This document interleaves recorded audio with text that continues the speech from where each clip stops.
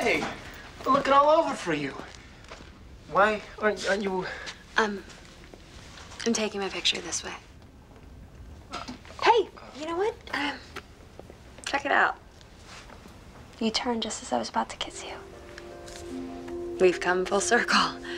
Uh, I, someone, I sent someone. Look at your face. You're staring at Sam. You know, it's all right. I, I know. No, what? What? That you may be in love. But just not with me. No. Look, uh, Harrison, do you remember when you asked me if I wanted to go out with you because I felt sorry for you? Like some charity date? Yeah. Well, I didn't want a handout either. Look, Brooke, it is not like that. The fact that you seem to need me right now, that is such a great thing. It means a lot to me. It really does. And I know you mean that to be nice. And and I know that being needed is a great thing to feel. But it's not love. When it comes to love, there's no second place. What about friendship?